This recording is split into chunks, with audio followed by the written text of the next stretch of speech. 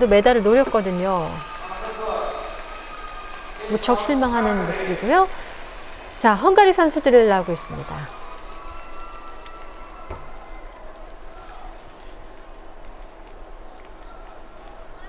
자, 마지막 순서인데요.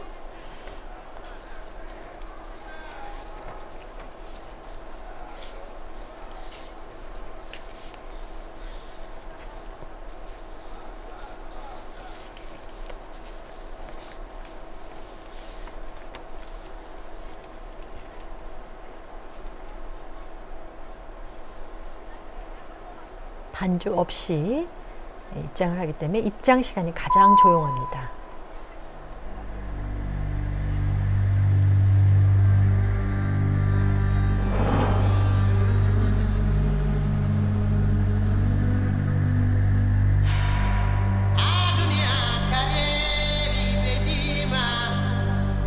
계속 튀기면서 컬러브레이션 난도를 하고 있네요. 그러한 기초 수구 기술도 또한 collaboration으로 많이 활용이 되, 고 있어요.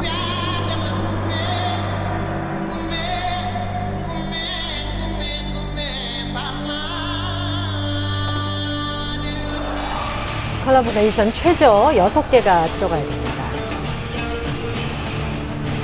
단체에서는요, 대형의 변화가 굉장히 중요하기 때문에 대형의 형태의 부정확한 그 부분에 있어서도 0.1의 강점이 계속 주어질 수 있습니다. 네. 그러니까 수구 조작을 하면서 계속 대형 유지도 해야 되기 때문에 아, 정말 여러 가지를 신경 써야 됩니다. 본인이 가야 될 그 위치를 정확하게 어, 빨리빨리 확인을 하면서 움직여야 되는 거겠죠. 그러니까 자기 저 연기를 하면서 계속 상대방을 또 느껴야 되니까요. 네, 그렇습니다.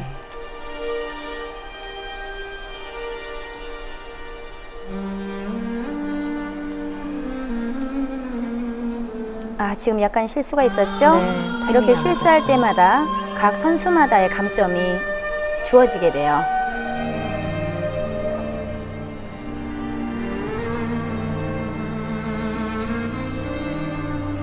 선수 간의 움직임이 끊기지 않게 계속 잘 유지를 해야 되고요. 이러한 회전을 하면서도 대형이 깨끗하게 잘 표현이 되어져야 됩니다.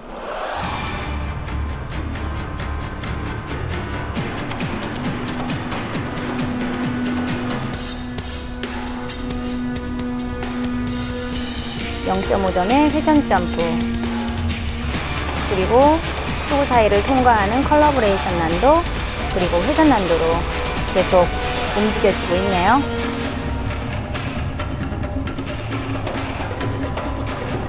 수구 아래로 선수 위로 한 명이나 두 명의 선수가 그렇게 움직이게 되면 0.3점의 가치가 부여하게 됩니다.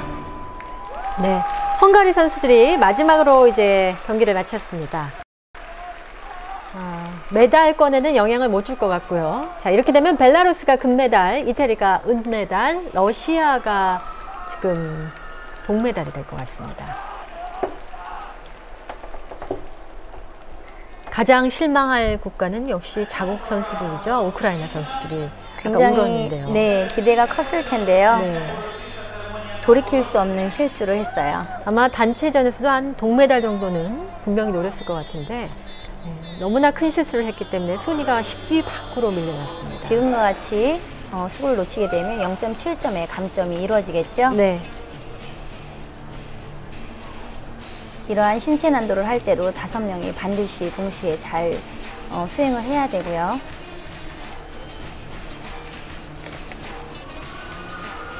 선수 개개인별로 수고의 능력이 아주 정확하게 잘 이루어져야 됩니다.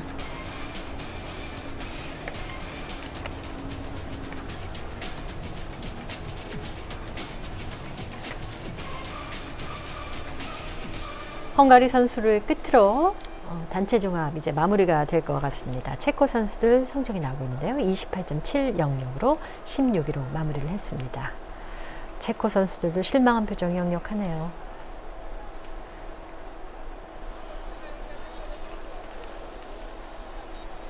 자, 마지막으로 헝가리 선수들의 성적이 나올 텐데요. 역시 메달권은 바뀌고요. 22.725, 24위로 오늘 경기를 마쳤습니다. 자, 이렇게 되면 다시 한번 정리를 해보면 벨라루스가 금메달, 이탈리가 어, 은메달, 러시아가 동메달을 따, 따게 됐고요. 스페인이 4위, 불가리아가 5위, 중국이 6위, 어, 의미가 있네요. 일본이 또 8위입니다. 자, 우리나라 선수들 뭐 순위표에는 없지만 그래도 최선을 다했고요.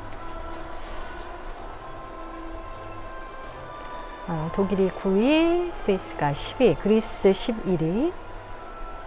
대한민국의 성적이 궁금한데요. 어, 그 다음 장에 있을 것 같습니다.